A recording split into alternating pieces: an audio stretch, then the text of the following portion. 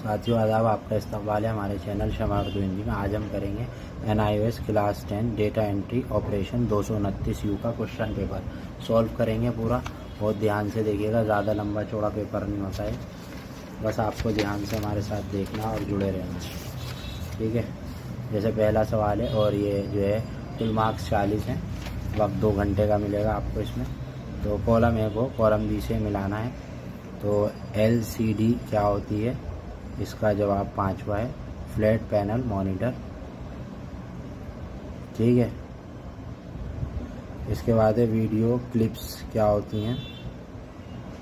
Multimedia implement प्यू table क्या होती है? Separate sheet. और ऑपरेटिंग सिस्टम क्या होता है? प्रोग्राम का सेट। सॉफ्टवेयर क्या होते हैं? जी यू आई। प्लॉटर क्या होता है? Output unit. इसके बाद है मंजर झेल बयान के लिए सही या गलत बताएँ। सही के आगे सही लगाना है और गलत के आगे गलत। तो लाइट, पेन और ट्रैक बॉल आउटपुट डिवाइस की मिसालें हैं। सही है। साउंड कार्ड एक, हार्डवेयर अंसुर है। सही है। विंडोज़ नए हार्डवेयर को इंस्टॉल करने का तेज़ और आसान तरीका फराहम करता है। गलत। टास्क बॉक्स के इस्तेमाल करके स्लाइडों में टैक्स इंसर्ट किया जा सकता है। सही है। पासवर्ड बिल्कुल ही केस हासिल नहीं होता, गलत है। वर्ड में कई दस्तावेज़ को एक साथ खोला जा सकता है। सही है। अब इसके बाद इसमें डिफ़ाइन करनी है इसकी तारीख कि सेल रेफरेंस क्या होता है। ठीक है। तो इसका जवाब जो है मैंने निकाल के रख रखा है।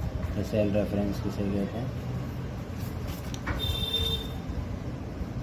देखिए।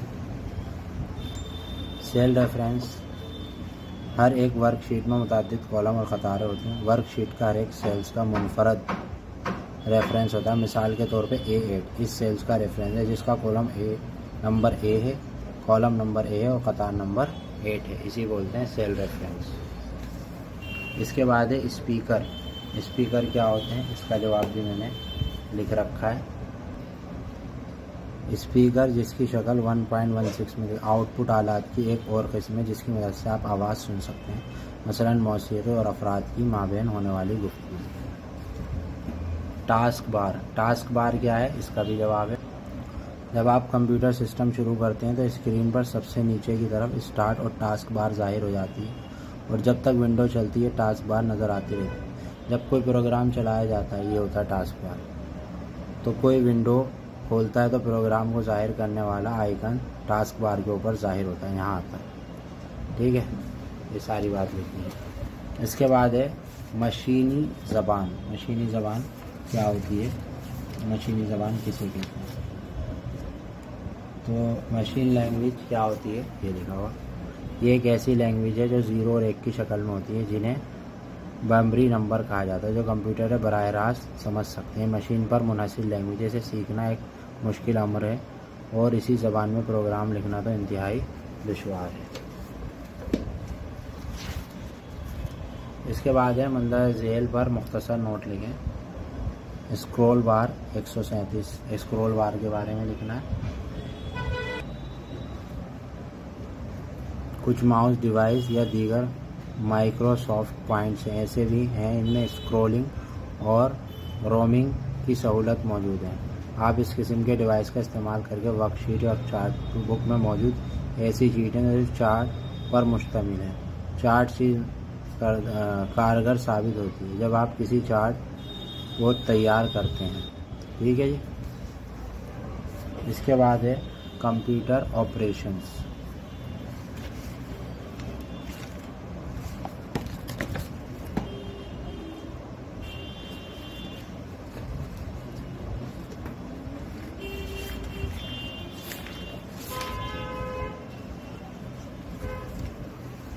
इसका जवाब ये रहा। आजकल ऑपरेटिंग सिस्टम ग्राफिकल यूनिट जी का इस्तेमाल होता है।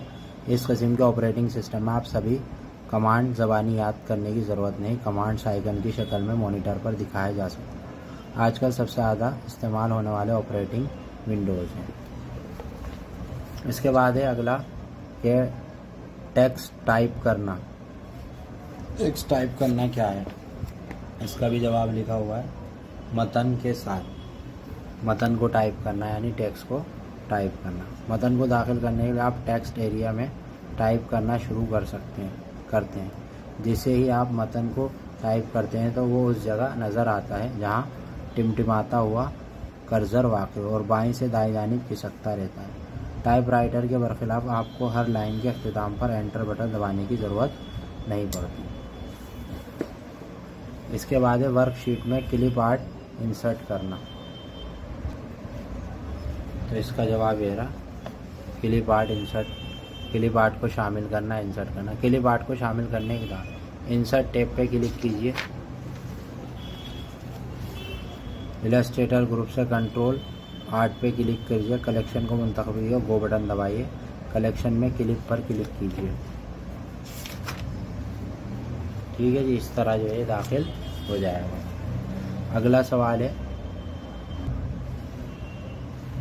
मंदरजा जेल के दरमियान फ़र्क वाजे कीजिए पेज ब्रेक, इंसर्ट और डिलीट करना। इसका भी जवाब मैंने निकाल के रखा है आपके लिए। रहा।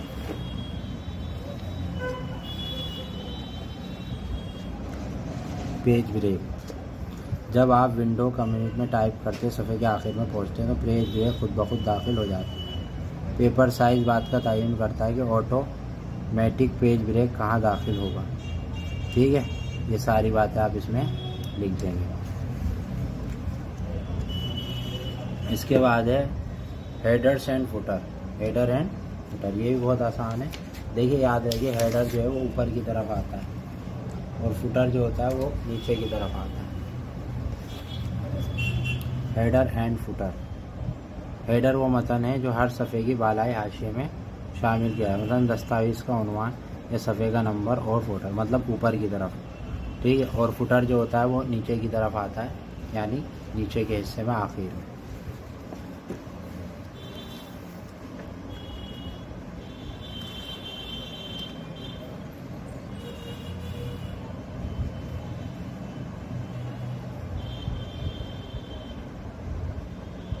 दस ये सवालों के जवाब दीजिए। पेशकश,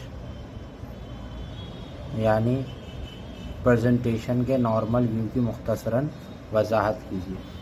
तो इसका जवाब भी मैंने जो है यहाँ पे लिख रखा है। पेशकश, यानी प्रेजेंटेशन जब आप पावर पॉइंट प्रोग्राम शुरू करें तो आपको खाली पेशकश नज़र आएगी। नोट पावर पॉइंट सात में ऑफ़िस पेन की जगह दूसरे प्रोग्राम का मुतालिक होगा। रिबिन टैप पे इंसर्ट करें और टैप कर सकते हैं। और भी ये इसमें दे रखा है, ग्रुप कर सकते हैं, ये सारी चीज़ें कर सकते हैं यही पॉइंट लिखने इसमें अगला सवाल है, विंडो सेट वर्कशीट में किसी फार्मूले को कॉपी करने की स्टेप्स इकदाम लिखें। वर्कशीट में किसी फार्मूले को कॉपी करना वैसे तो बहुत आसान है, कंट्रोल सी और कंट्रोल वी से। लेकिन फिर भी आपको मैं दिखा देता हूँ कि भाई कैसे होती है। ठीक है।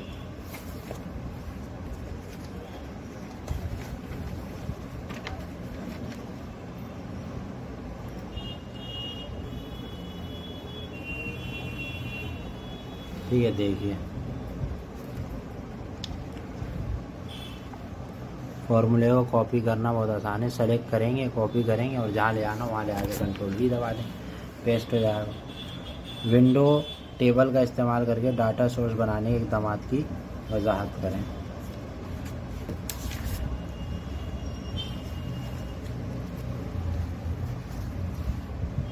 आप डेटा सोर्स की तश्कील के लिए एक्सेल प्रोग्राम का भी इस्तेमाल कर सकते हैं। एक्सेल प्रोग्राम शुरू कीजिए, वर्कशीट खोलें। वर्कशीट के सबसे ऊपर वाली कतार में डेटा फ्लेट का नाम टाइप करें और दूसरे कतार से डेटा रिपोर्ट टाइप करना शुरू कर दें।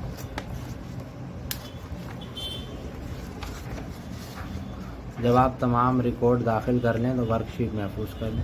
आपने वर्कशीट में फ़ील्ड का नाम और डेटा रिकॉर्ड दाखिल किया, उन्हें मंतखब कीजिए और स्टैंड डोल्स बार में कॉपी बटन पर क्लिक कीजिए, इस तरह प्रोग्राम बन जाएगा। अगला है विंडो में एक प्रोग्राम शुरू करने के इकदाम लिए विंडो में एक प्रोग्राम शुरू करने के इकदाम लिखें।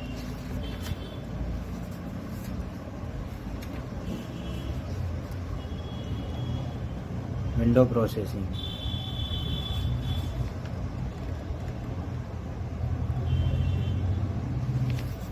यही है अहम खसूस इससे आप पहले से बने हुए बिल्ड इन को तश्कील कर सकते हैं। आप टेबल कंटेंट की तश्कील की सलाहियत से कर सकते हैं। आप एक ही वक्त में कई दस्तावेज़ पे काम कर सकते हैं मेल मर्ज कर सकते हैं। बस यही सारी बातें इसमें लिखी। अब इसके बाद है पेज सेट अब डायलॉग बॉक्स का इस्तेमाल करके आप पेज मार्जिन को किस तरह बदलेंगे, वजाहत करें। इसका भी जवाब हमारे पास अवेलेबल है।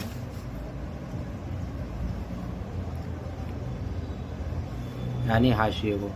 पेज मार्जिन की बात हो रही है पर। पेज लेआउट में जाएँगे पेज सेटअप पे क्लिक करेंगे मार्जिन का इंतखब करके दाएँ बाएँ जानिब जितना छोड़ना उतना छोड़ देंगे और इस तरह आपका जो है, अपना जैसा भी करना चाहते हैं वैसा हो जाएगा।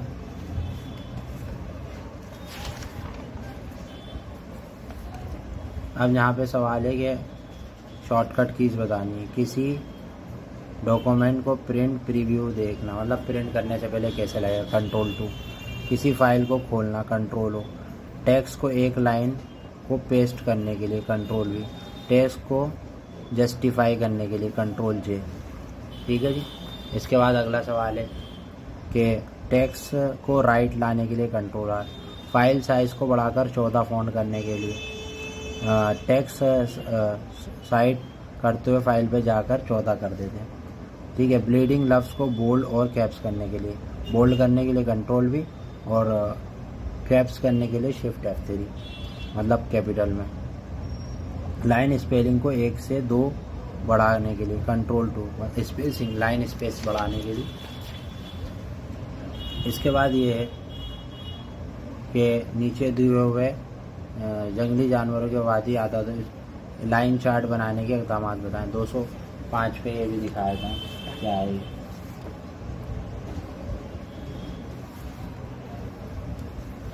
लाइन चार्ट के बारे में लिखना है थोड़ा सा। लिख दो। मेरा लाइन चार्ट वर्कशीट के अंदर कॉलम और तकरार में भेज लाइन डेटा को लाइन चार्ट की मदद से प्लॉट लाइन चार्ट का इस्तेमाल वक्त के मुकाबिल मुस्तकिल डाटा के एक मुश्तरक पैमाने में होता है। ये सारी बातें लिख देना लाइन चार्ट इसके बाद अगला है, इसके अंदर फॉर्मूले वगैरह लगाने, ये देख लो। सेल बी सेवन का फॉर्मूला तनख्वाह के लिए तो यहाँ पे सम करना है। ये फार्मूला है, ये फार्मूला लगाने हैं। तो ये आपका क्वेश्चन पेपर पूरा हो गया, इसी तरह का आएगा। आसान सा। वीडियो पसंद आए तो वीडियो को लाइक कर दें शेयर कर दें सब्सक्राइब कर दें। शुक्रिया।